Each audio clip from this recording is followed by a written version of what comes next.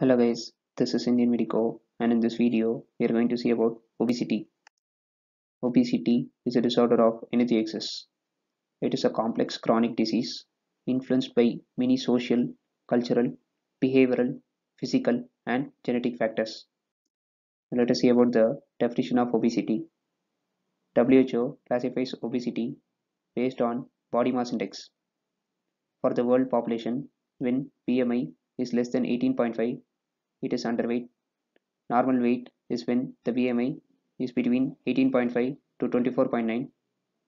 Overweight is when BMI is between 25 to 29.9. Obesity class 1 is when BMI is between 30 to 34.9. When it is between 35 to 39.9, it is obesity class 2. And when it is greater than or equal to 40, it is obesity class 3. Waist circumference can also be used to def define obesity. For men, when waist circumference is greater than 102 cm, it is called obesity, and for women, it is greater than 88 cm. Now let us see about the epidemiology of obesity. More than 1 billion adults suffer from obesity. Its prevalence is increasing. Obesity is a problem in both developed and developing nations. It increases the risk of hypertension, dyslipidemia, insulin resistance, coronary heart disease, and stroke.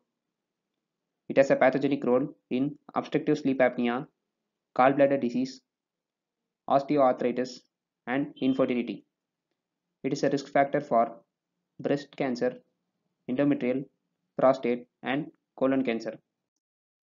Now let us see about the management of obesity. Goal setting should be done. Initially, 10% reduction from baseline over 6 months should be achieved.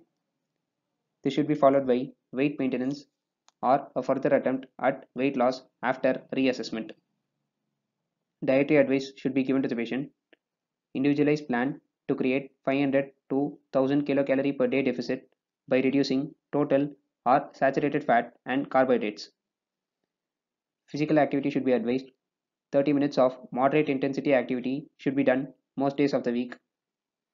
Behavioral therapy includes self-monitoring, stress management, cognitive strategies, and social support.